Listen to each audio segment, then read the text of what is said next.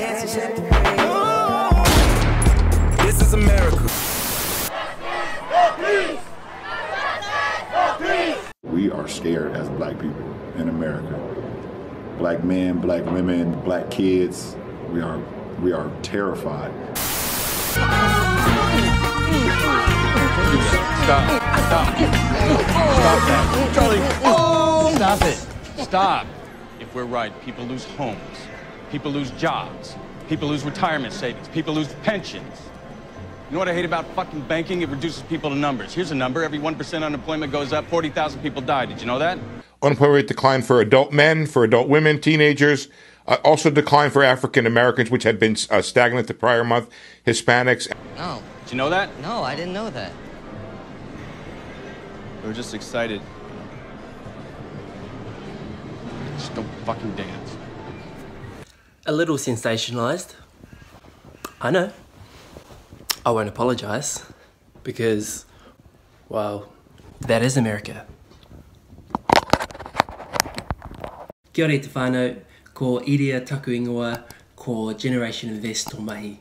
My name is Iria and if you're new to the channel, welcome. You chose a good first video and to my 39 subscribers, 89 followers and 71 strong community, welcome back. Today we're going to be learning about Forex or foreign exchange. I'm going to be answering questions like what is the foreign exchange? How does it work? Compare costs with Hatch, Stake and Sharesies. What tax implications can it have? And what is important when investing? By way of definition, foreign exchange is the conversion of one currency to another. Now, if I do happen to miss any of your questions about the foreign exchange or the market or currency exchange, do leave your questions in the comment section below. But without further ado, let's get into it. How it works. Companies need to buy goods and services from other countries, just like we used to when we used to travel, which seemed like so long ago. The difference being is that we would exchange a few hundred dollars and companies would exchange a few hundred million dollars. This changes the price of a currency because the higher the demand, the higher the price. To own an American company or fund, you need to trade in US dollars, which is a seamless transition to a case study we can look into now. Say we had a thousand New Zealand dollars and we wanted to discover which investing platform will provide us with the best value.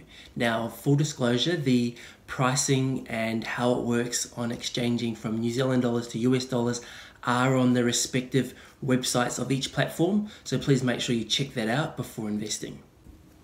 So, if you had 1000 New Zealand dollars and you're converting it to US dollars, Sharesies will charge you a $4 exchange fee, Stake $6.64, and Hatch $3.31.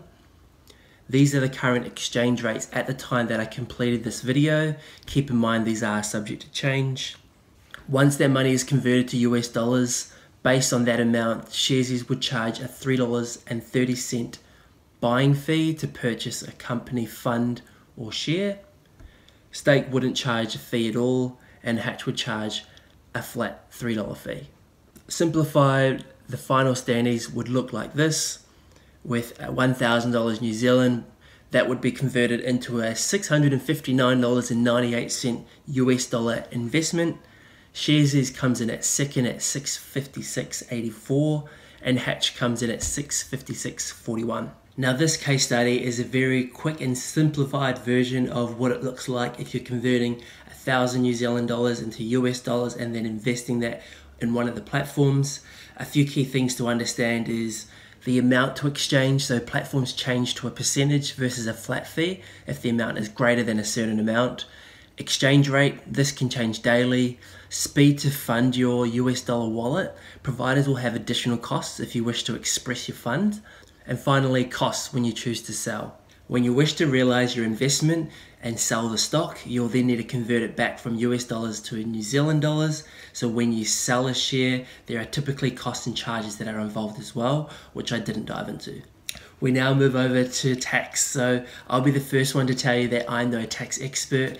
There's a disclaimer in every video that any content or information on this channel cannot be considered tax or personalized advice. So I will refer you back to your accountant to get that personalized advice where they can consider your individual circumstances, or I'm sure IRD will be happy to listen to any questions that you may have regarding tax, as long as you're happy to listen to Dave Dobbyn and Colin Loyal.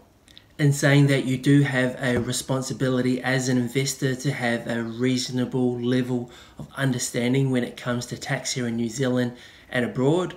You may have heard of the term W8BEN, which is an American application form lodged on your behalf when you sign up. This is sent to the IRS, which is the IRD equivalent here in New Zealand.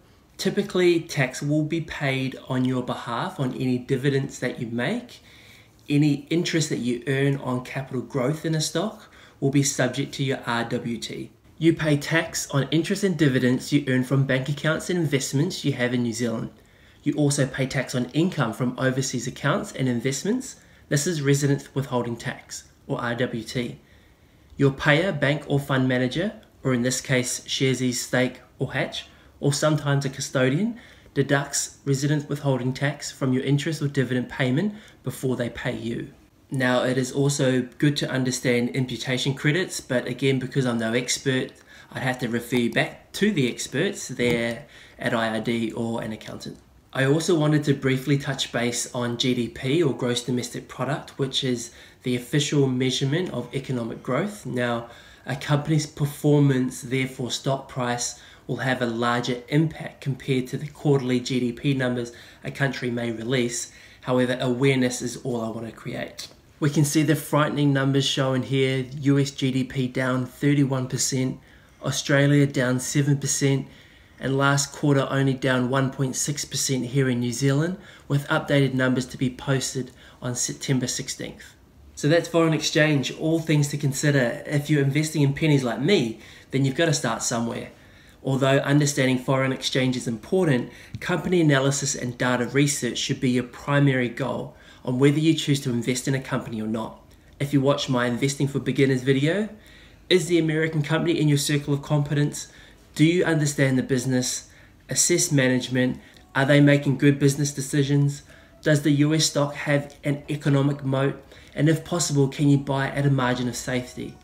If you follow my value investing style, your aim is to grow wealth over a several number of years, to support the whānau, buy a home, maybe start your own business, overall achieving financial freedom. Hey, Corneta,